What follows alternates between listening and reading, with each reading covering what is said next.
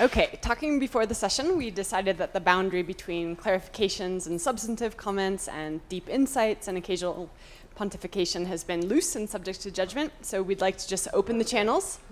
And to make sure this last session of the day is lively, we'll encourage two-finger quick follow-ups with appropriate constraint, and we'll take it from there. Joe. Uh, could you tell us about greenhouse gas emissions, CO2, currently come from steel and cement? Remind us of that, that piece of the wedge, how big that is? 7% from iron and steel. About, sorry. It's about, it, it obviously depends who you ask. It's about 7% from iron and steel and 6% from uh, cement. It's a big number, yeah. yeah, but for the cement, it's about half calcination, half energy. Yeah. Yeah. Right. Can't just change the fuel. So, uh, okay, my turn. Uh, on, on your last point about doubling the capex, it seems like it must be more than that because it seems that it's yes, if you double the capex, but it depreciates fairly quickly. The plant runs a long time. It's kind of like the hydroelectric storage scenario, right? So uh, beyond the capex is you know so uh, fixed and variable costs after that. Uh, you know, are those uh, you know how how much higher are those? Yeah, those yeah. those can also increase. This is a, this is the the big reason why industrial CCS hasn't taken off, because you know they can uh, they can significantly increase. The other reason is because the um, industries don't think they're going to get um, actually you know uh, regulated, right? Because they know how expensive putting CCS on their plant is, and they know that they've got no other choice. So, one of the reasons why a lot of work's been done on, without wanting to um, accuse everybody of being uh, duplicitous, one of the reasons why I think a lot of work's been going on on amine scrubbing is because you can easily come out with a number for amine scrubbing that says this will bankrupt um, my plant.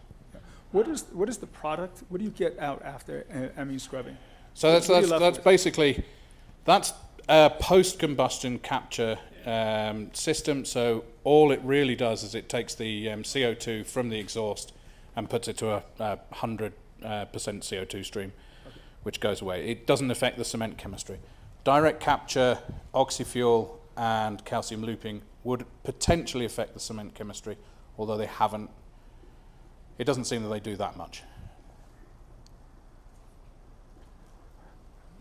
My question uh, relates to the costs of steel and concrete when you use them to build your low carbon energy infrastructure. Because the steel and concrete are probably the largest single ingredient that goes into it. And and partly from the perspective of life cycle costs but but more from the perspective of, of just the economics. And first thing I just need to interject is that that I have a lot of skepticism about trying to clean this stuff up because this is uh, heavy industry is the stuff that's easiest to export to countries that are willing to burn fossil fuel. And so, so you really, that, that's, a, that's a, I think, a challenging problem. And, and we've certainly exported most of it out of the United States, out of California, Washington State, and such. But I did a calculation where I pulled out um, life cycle assessments for wind turbines. Vestas has done some very good studies, and then for nuclear plants. Because I was interested in finding out how much these commodities contribute to the cost of construction. And for, for if, if you pay $5,000 per kilowatt to buy an AP1000 from Westinghouse, the commodities, the steel, concrete, and copper, contribute less than 1% of that price, which is actually, that's really sad. Um, if, if, well, no, they don't sell very many of them. Oh. Vestas, it turns out you do the same calculation, and if they're selling at 1750 per kilowatt, um, that it's 11% of the purchase price. So the Vestas is far more efficient in terms of converting steel and concrete into wind turbines, but that also seems to say that, that you're you, you, you have serious issues if you make those commodities a lot more expensive by trying to decarbonize them. How do you fit, how does one fit that question? Does it make sense to decarbonize these materials when they're the essential ingredients to producing clean energy in the first place to build out that infrastructure? Well, I guess I can start with an answer. I mean, to the extent that you believe climate change is a problem, we need to decarbonize, I don't, it's a self-evident answer, you have to do it. The question is, and I think, you know, that's what we're really saying here about heavy industry is you've got to figure out new processes or material substitution or to make something like CCS um, uh, cheap. And it's not something that can happen simply by the industry, especially these very commoditized industries, to do it on their own. So there's going to have to be some combination of policy, uh, R&D work, and honest to God, large-scale experiments. Like, yeah, we'll build the bridge. Okay, we'll build the cement plant. We'll build the new steel plant. And, and it's going to take a consortia of people because nobody can take the risk on of putting a billion dollars out there and then saying, well, it didn't work. Let's go on to the next experiment. Yeah, I mean, um, if you're talking about the, the final 20%, you can't offshore it. I mean, it doesn't matter where the um, CO2 emissions are coming from. That's why I'm saying you've got to have a border tax adjustment, you've got to have a tariff based on CO2 intensity. Um, without that, you, you, you, none of these things would work. Right, so that's absolutely fundamental that um, that needs to happen. Also, if you look at so the amine scrubbing is pretty expensive, $100 a ton, 90, 80, $90 a ton, depends who you ask. Um, but these ones have the potential to be significantly cheaper overall in terms of um, dollars per ton of CO2. Now, it's an interesting question as to whether or not, basically, because cement manages to emit such a very large amount of CO2, to produce such a little amount of value add, putting um, carbon capture and storage on cement manufacture increases your costs of cement hugely, but uh, in terms of a dollars per ton of CO2 that you save, it's actually one of the cheapest ways to um, decarbonize the world. So what we're really saying is there needs to be a carbon price. Sorry.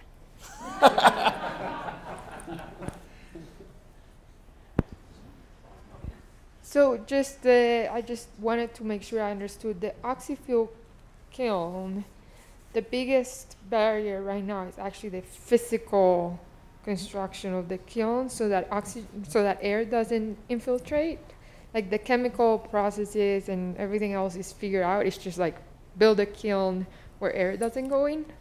I wouldn't say that everything is 100% figured out. I would say that we've done lab tests and um, we've simulated 100%, you know, uh, well, not, not 100%, but say 70% CO2, 30% um, oxygen.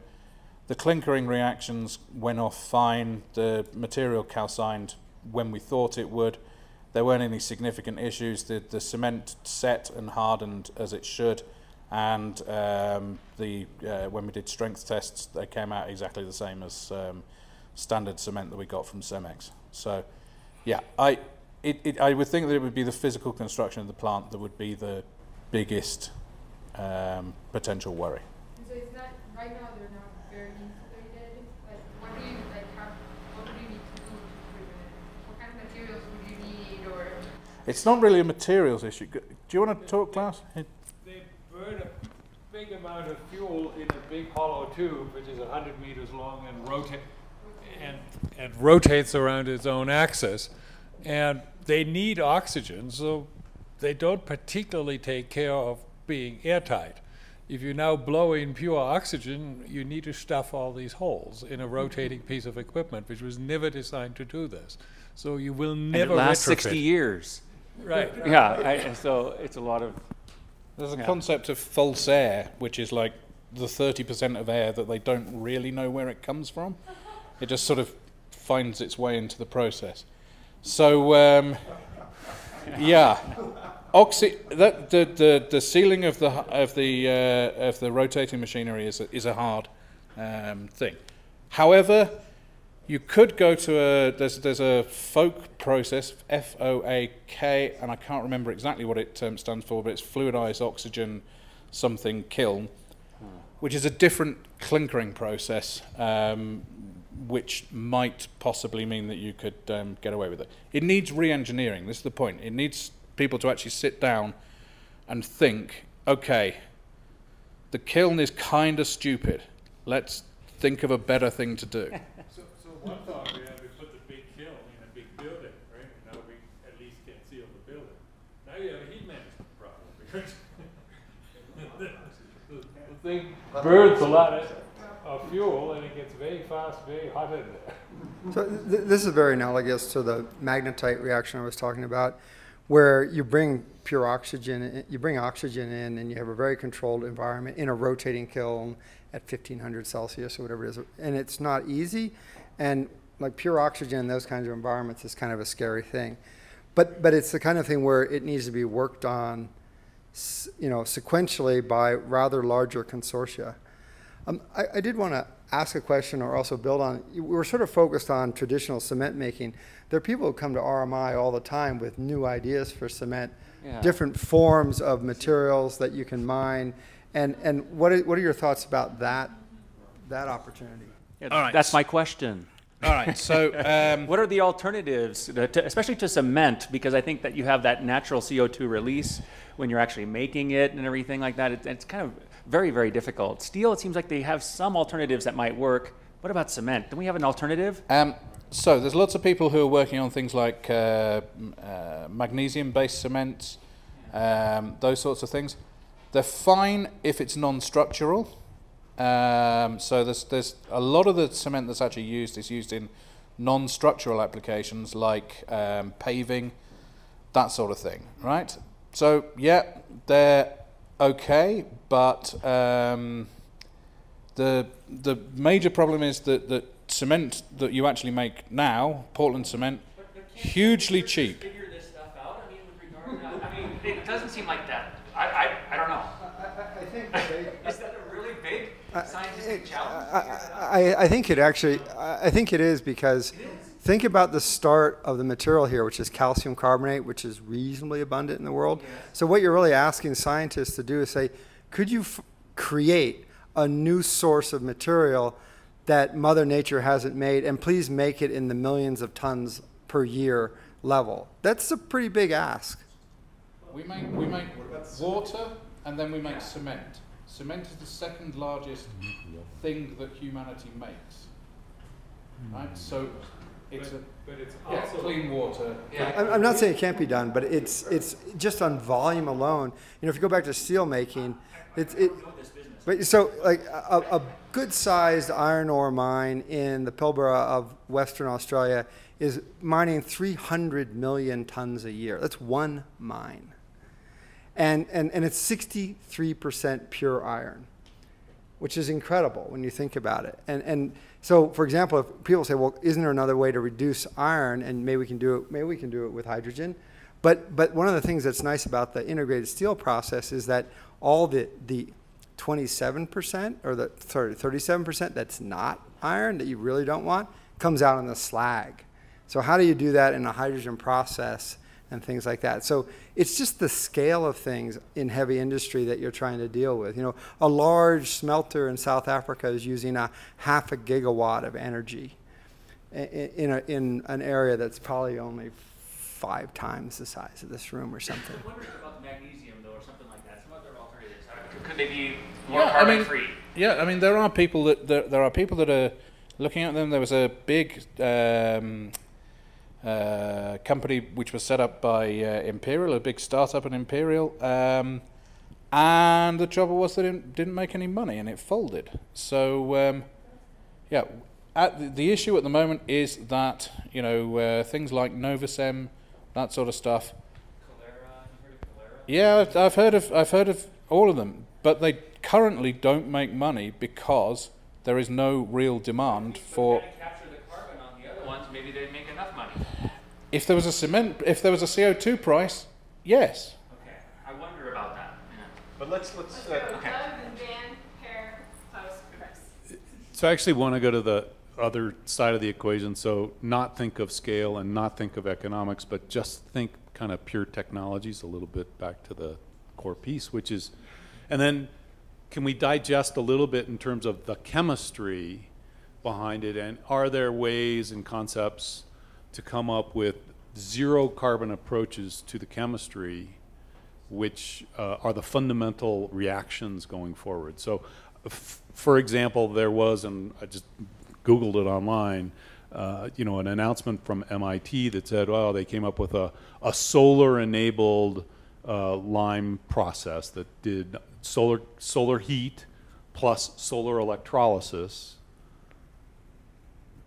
to decarbon, decarbonate the, the calcium carbonate uh, on that. So, I mean, again, that's just pure chemistry at a molecular level, not at scale, anything. So I'm just trying to think outside the box is, could we re-articulate or could we come up with low carbon pathways that aren't so CCS dependent? And maybe that's for the chemist. Again, the issue with, with lime is that it's, it produces even more CO2 per value add than cement. So, yeah, I'm sure we could do something. I mean, you could do solar solar calcination, but would would you really want to? I mean, if you've got all that sort of nice concentrated solar energy, might, maybe you want to use it to do something else than make lime. People are people are doing it around the world. Um, there's solar calciners in um, uh, Spain, where people are uh, looking at it, but you still you've still got the CO2. You're still fundamentally, if you've got calcium oxide, sorry, if you if you want calcium oxide as your pro, as your product, you know you're going to start from calcium carbonate. It's, it's one of the most stable minerals on Earth, and that's why it's in in that form. For 56 grams of calcium oxide makes 44 grams of CO2, and you get $60 for the calcium oxide per ton. Um, I, Sorry, I, just before we leave, the sort of fundamental question you're asking, Doug, I, I, I'm daunted by cement. I think on the steel side uh, and smelting and things like that, we actually can take a hard look at material substitution. So that's already happening, for example, in steel, which is fighting tooth and toe now with aluminum for the automotive uh, sector. So I, I think what we need to do, actually, is just some really fundamental stuff, would be if you assume a certain growth rate of the need for uh, current baseline use for steel in the world, break it down from structural steel, things that are class A body panels, et cetera. And then you said, what are the substitutions for each one of those? And you started setting up a program. I think you might get rid of 50% of the steel that way and do it quite economically. And then you've got a much smaller problem to deal with. And the other thing is, I think that you might find is, assuming that we don't go through another breakneck uh, growth rate, which we may, or maybe we do it one more time, after that, can we hit a semi steady state where we only need to accrete another few percent per year of extra raw virgin steel and really try to work much more in a closed loop? And those numbers, to my mind, I haven't seen them anywhere that says, here's a vision for steel and structural material not cement, going forward. And if we look at that, I think it will make the problem more tractable and it'll make it more obvious about where we put our time and money to best effect. I'd just say to, to, to add on that. Just directly to that, what I noticed is once you do that, all those good alloys like chromium and manganese end up in rebar. Because you've got your steel recycled, but you are smearing out all the all the high quality elements you added to it. So, I, I'd actually one other thing I'd say is that, and I don't want to say anything disparaging about engineers, but there is a certain level of conservatism in the in the engineering world about building things, and I think if we continue to push our efforts to optimize the use of steel and concrete, we'd probably get a pretty important factor of something uh, against it as well. So I think you know, optimization and, and disaggregation of the problem is quite important. I'd say that one of the um, things that people are looking at in uh, the UK a lot now is actually reuse of old steel. So instead of going through scrap production and electric arc furnace and that sort of stuff, you actually take your I beams out, check they're still sound, and then use them directly, which is the really lowest carbon way to um, to do it. Um, it's the most sensible uh, thing. Great. Um, actually, this is a clarifying question. I think that would, um, just based on what, what you just said. Um, so direct iron reduction and electric arc furnaces, if powered by low carbon or zero carbon electricity, does that count as zero carbon steel? And if it does, do, is um, like what is, is that is that a 50% solution? Um, and you can and you, you still need some really high quality stuff. Then why, why can't it be 100% of the solution? Well, I mean, I think, you know, once you've gone through the cycle once and you've got it, and it was all renewable energy going into the electric arc furnace, yeah, that's pretty near zero carbon. Um, there is definitely research that needs to continue to bring electric arc furnace steel up to the level of integrated steel, virgin steel. Uh, and there also needs to be this very hard question to say, how much new steel do we really need? And you know what you'll see, and this gets back to real economics, the way the industry works, is that when you're running an integrated steel plant or electric arc furnace, you are competing and you're trying to insert yourself into the market in a very dynamic and competitive way. And you will do things like produce certain types of steel to preserve market share, you may cut price. So there's all these things that are going on that may be creating more virgin steel in the market than what you really need societally. So it, you know, I don't, it, it, it, it's a messy thing because, because of the competition and because of the swings in different costs for scrap material, for coking coal, uh, electricity, et cetera, that, that changes that dynamic. So again, I think it, what we need is a, a really good report that sort of says, here's where we could go with structural steel over, or with steel over time. Here's how to tackle it and break it into its parts. So short answer is yes, it could be low carbon longer answer is, but we really need to know how much of it we need and how much we need to grow virgin steel. So Steve, actually, you, you touched on something, engineering conservatism, that, that I've also run up against, which relates back to, you know, very early regulation when we were looking at boiler and pressure vessels and, and civil structural engineering. We ended up with professional societies developing codes and standards and then the legal system pointing to them. And it's, it's very cumbersome from the perspective of, of any ability to update or to, to optimize. There's efforts to try to get performance-based approaches implemented or available within codes and standards for engineering, but ultimately, this, this, is just a, this is just a huge impediment for innovation.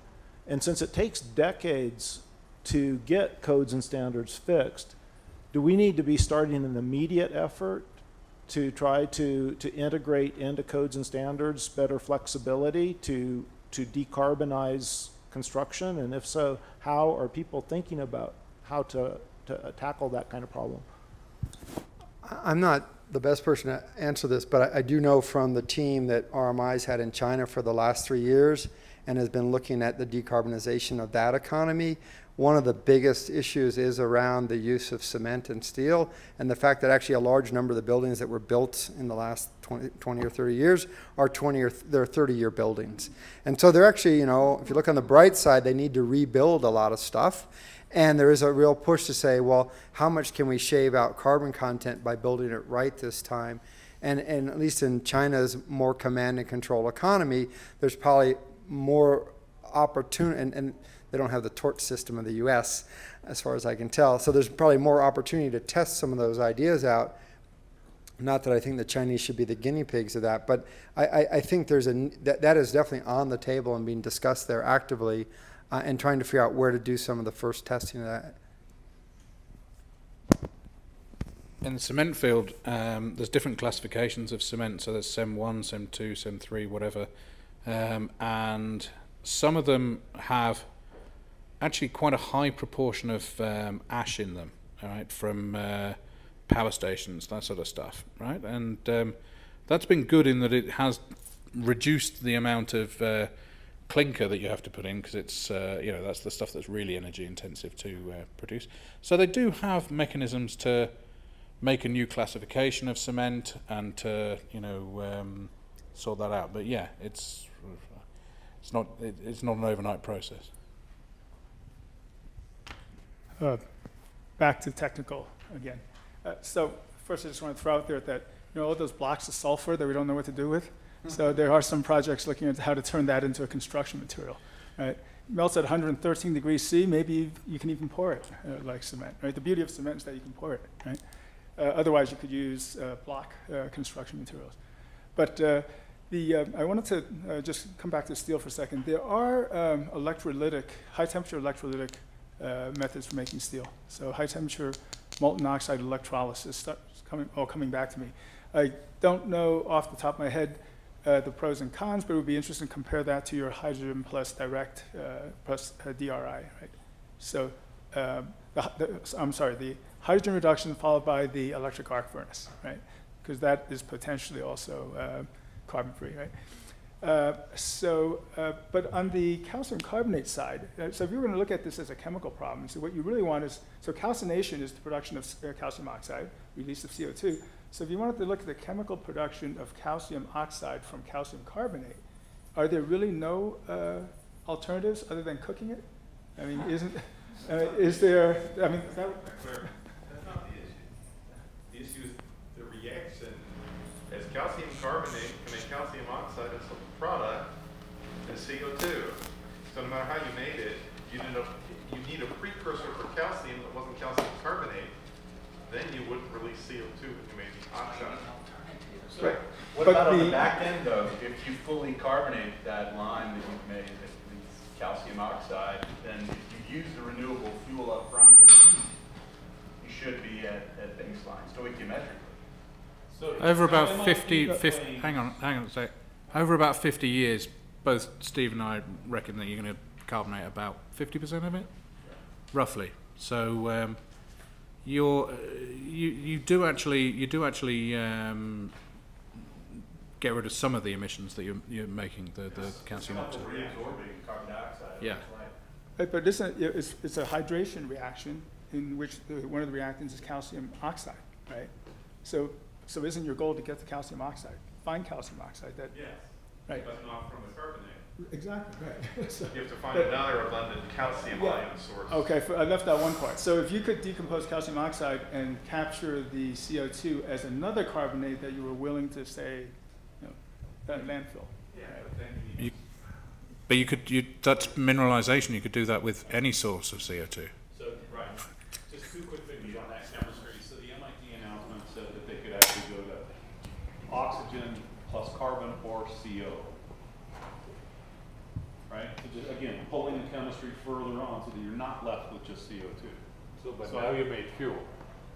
Now you're making fuel, so you put a lot of energy. Right. They did all that with solar.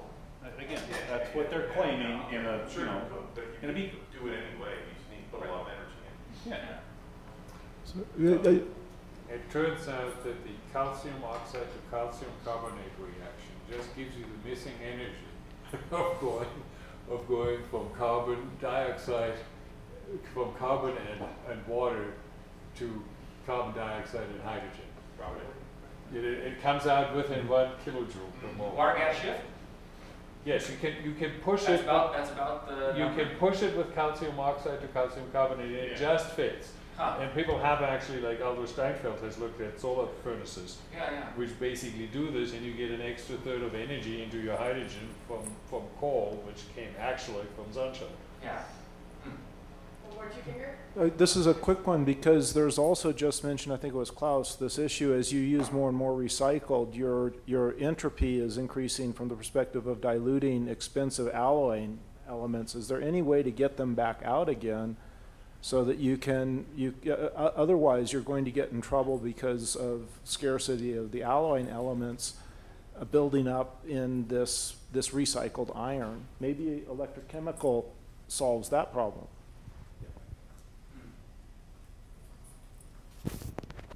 Agree, we need to work on it. Yeah, I, I, I, it's striking how the big difference in the opportunity space between steel and cement is the reuse and recycle in the steel, and with so little potential in the cement. And if we think more about uh, life cycle and cradle to cradle opportunities, are, are there things we're missing in cement that let us either reuse um, concrete or that that provides some kind of a pathway that that does that means that we have something other than every ton of cement that's ever been produced just ends up being uh, crushed for for gravel basically I haven't seen one, um, and the, the big advantage, the big advantage of it being crushed for gravel is that it then takes up a hell of a lot of CO2 quickly. They do use this, they recycle some of it for road beds and things like this. Not all of it, obviously. So if you think of it as a hundred-year problem rather than a fifty-year problem, you could make the argument that the calcium oxide, the calcium carbonate was actually carbon neutral. Right.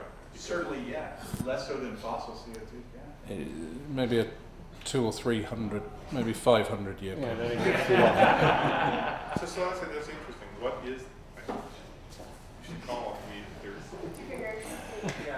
So what is the cycle time, the natural cycle? Because I know Steve had pointed me to some papers that I didn't have a chance to read, uh, that, uh, pointed out that the cal- that the cement actually does uptake CO2 back over its lifetime. And so if, if it does that enough, it really is a closed carbon loop, and there is no net CO2 emitted at steady state in this I- process. I Just think you- goes in to transform it. But I think So- you have to grind up the building in order to Not- make it. not- Not, not entirely. Not entirely. I have a clarification question of, just really, at steady state, assuming you build and then you crush your building and you do it over again, what's the uptake time of CO2 in order to keep it at steady state from cement manufacture? Yeah, I think there's a rumor that Roman cement was better than ours because they carbonated in the last two thousand years. I think he is right, five hundred. Well, so we've done some calculations, and I've had conversations with Paul. It actually turns out he's done some very similar ones, and I think we're on um, relatively similar results. But we've found that when you look at all of the use and all of the cement that's been made since 1930, cumulative process emission from calcination, about 43% of those is what we came up with, have been reabsorbed by carbonating cements. So that's not nothing over that period of time. That's pretty big. Yeah. Now, again, half of the CO2 from cement manufacture is energy, though. Right. That's Right. not even including story. that. But, but you could in principle decarbonize the Right. energy. Right. So if you discounted that to zero, then this is the relevant Then you're at a question. quarter Right. of current emissions. Or whatever. Yeah. Quarter, Yeah. over, Yeah. over a hundred-year time scale, over a fifty-year time scale. No, it, it, it goes as a it goes as the um, it's Fickian diffusion, so it's uh, t to the half. Right. Right, so it carbonates with a rate that goes as t to the half. So maybe You have half maybe lines. 200 years you, you'd Well, be and you closer. could, in principle, enhance this by doing more of the crushing and recycling, and not just burying it off the air in the landfill. Grinding energy though. Well, that's what it does. It's just, I know that's what it does. Uh, What, what is, what are the reaction rates uh, around the uh, concrete as a CO2? Pretty I- fast, but they never give you more back than you calcined out Yeah. the day you started. you can only get back to zero at Right. best. I'll pass you. I, I, I will send you the uh, fantastically interesting paper, a statistical analysis of the rate of carbonation of concrete, which you can l- read at your leisure. Just not before going to sleep. I'm sure it's fine enough, it's fast enough. Just one technical question on this business of the um, reuptake of CO2. Does the use of fly ash in the concrete change that in any way? Um, oy. I'm not sure, but you're only going to have about 10% fly ash in there. So, um, yeah, the fly ash will have a, a small proportion of calcium oxide in it as well. But, yeah, I wouldn't. I can, uh, in fact, it is in the paper on uh, on statistical analysis of carbonation, so I can. Don't- I don't have it in my head.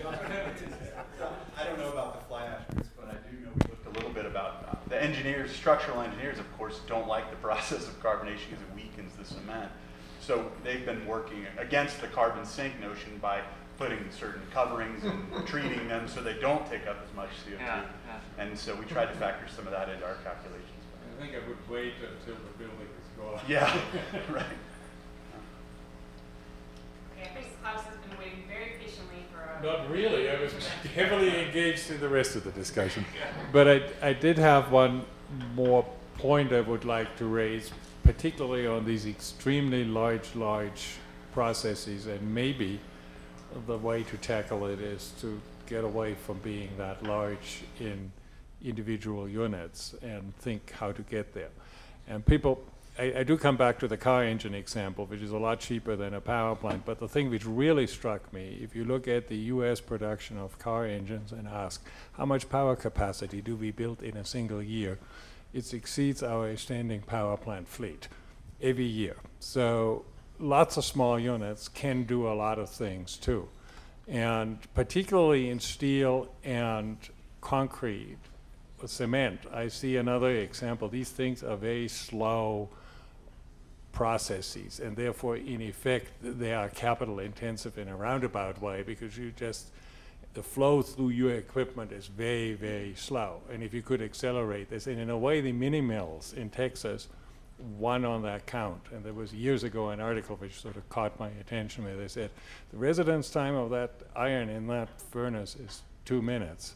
It's a couple of days in a blast furnace, and that explains the size difference, and so thereby also some costs. So to really start thinking about how to how to come at these things from small scales rather than large scales, I think would be worthwhile, and, and sort of take advantage of the mass manufacturing uh, cost reductions rather than the cost reductions of the economies of scale. And I do think one could do something with this, but I think that gets us off on a long tangent now. But I did want to raise this issue and see your, your views on this.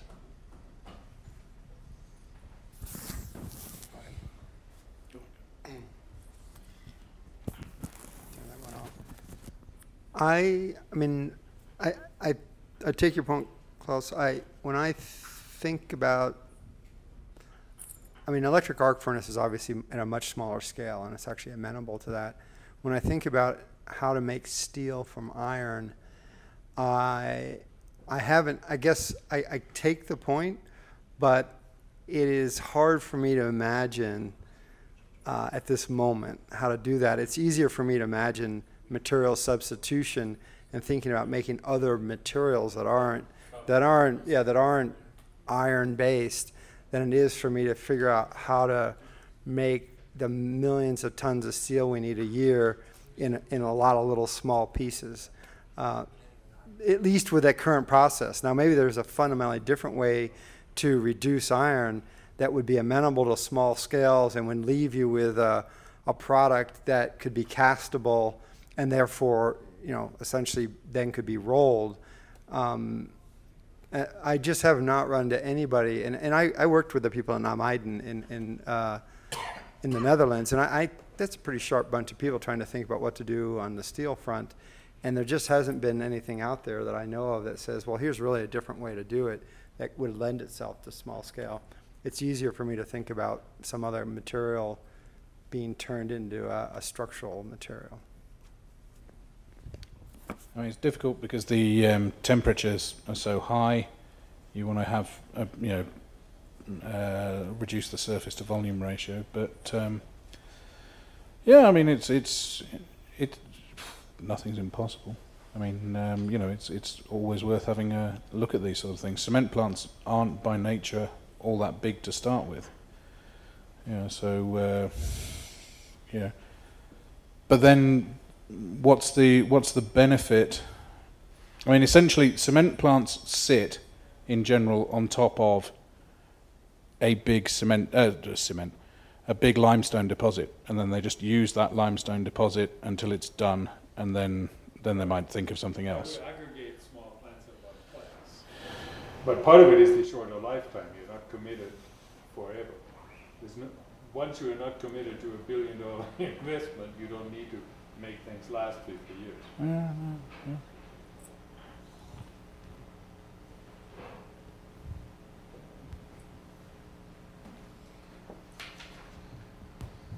I think someone brought this up earlier, but maybe uh, CO2 per ton is not the right metric. So I have friends in material science who are trying to, who think they're on a path to, for instance, uh, make aluminum the strength of steel, or to you know triple the, the strength of steel. And uh, so you know, uh, if you if our metric were CO2 per megapascal of uh, yield strength, you, you might uh, have a different look on this, right? And so, you know, in, as technologies advance, you tend to move to different metrics other than per mass, right? And so that, uh, um, you know, that may be worth thinking of because if so, And inherently, all the auto companies, of course, do this, right? They'd rather have a thinner steel panel that costs less, uses less steel because higher strength. Right? I mean, at, at heart, you, you're basically coming down to CO2 per value add. Exactly. Which is, Right. which is, yeah, what I would, that's why it's so difficult to decarbonise lime and cement. So are there, are there high-strength cements then? To ask the same question that, you know, I know of examples in steel. I'm sure there are. Did you get away with uh, one-third the amount of, uh, of uh, cement? right? I, I would doubt it because it would come down to building codes and uh, all sorts of things. And it's so conservative, the industry. The civil engineers are working to do things like additives, like fiber additives and other things to increase the strength of, of concrete. And we have civil engineering students who build canoes out of the stuff and go out on lakes with it. So there, there, there is room for improvement, large improvement in terms of strength and, and uh, maybe mass reductions, carbon reductions as well. It's true, but, but you know, I doubt they build the shard out of it. You know, the shard in London.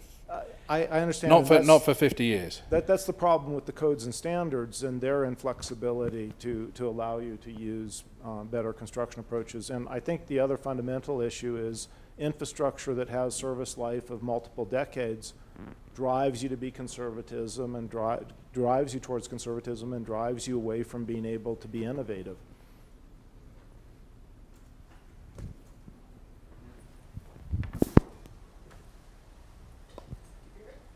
Well, maybe just very quick, I think, to, to comment, I, this is something I sometimes find myself daydreaming about, but like metaphysically, are there trade-offs between flexibility and stability?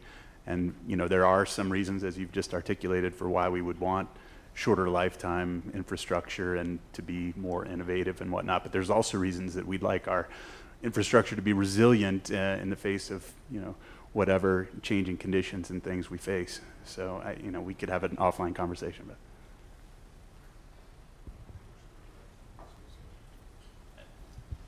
I want to just say one more thing about this conservatism of codes and uh, what's the right trade-off between encouraging innovation and, and uh, preventing the risk of catastrophes from having things not worked out right. And it seems like, you know, even though this meeting isn't focused on the social and institutional components, this is probably one of the most important ones, and it's not one that people typically talk about, is how do we create a landscape in which there's a dynamic of innovation that people really can have confidence in.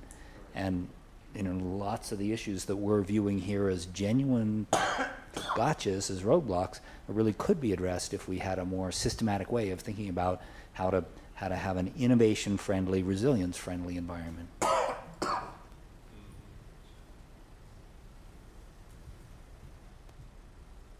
Reactions?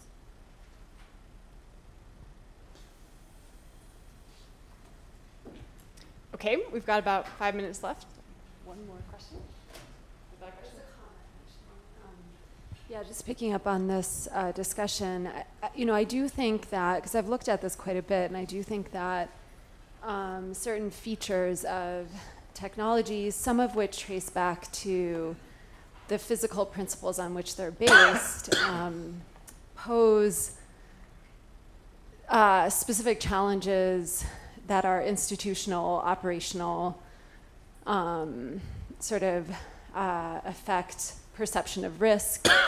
um, and so I think it's difficult to completely disentangle those issues from an evaluation of the technical challenges um, because you're signing up for certain institutional, operational, societal sort of risk perception challenges if you go down one technology path and others if you go down, another. And they're actually, I think they can be traced back to features of technologies themselves and some of the physical principles on which they're based. So, anyway, it's something maybe at some point we can talk about. I've thought a lot about it. Um, just wanted to mention that.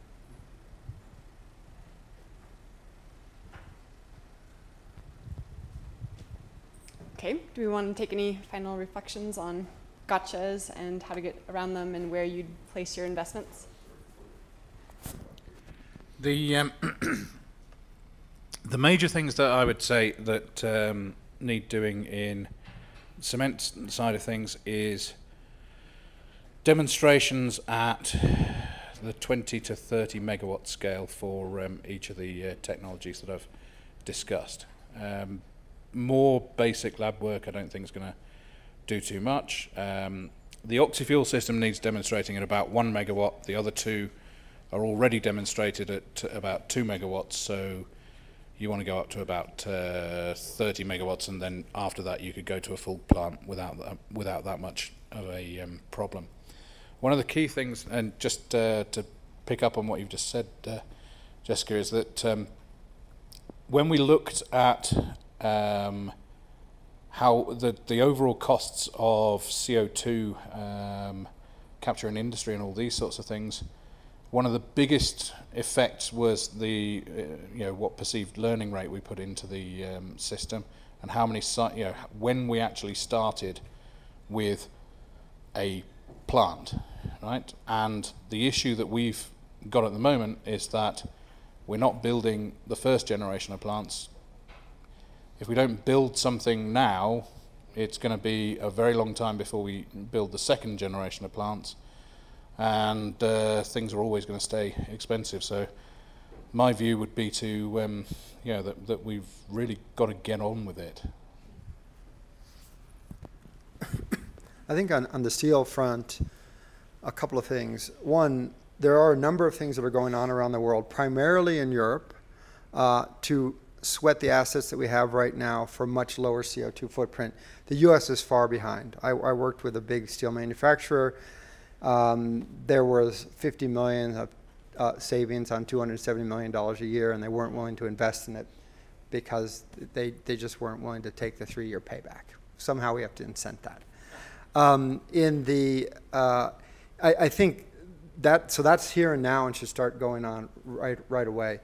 Um, there's going to something else needs to happen though to get a consortium of people, countries to look beyond the current assets, of which there's lots of billions in the ground already, to say, well, what what's next, and how much steel, do, integrated steel, do we really need versus uh, mini mill steel versus material substitution? And so, I think a takeaway from this discussion today for me is how do we lay out that roadmap, or at least the call for that roadmap, so at least there's an understanding of how things could evolve over the next 25 to 30 years, so we don't wake up in 2040 going, boy, we need a roadmap.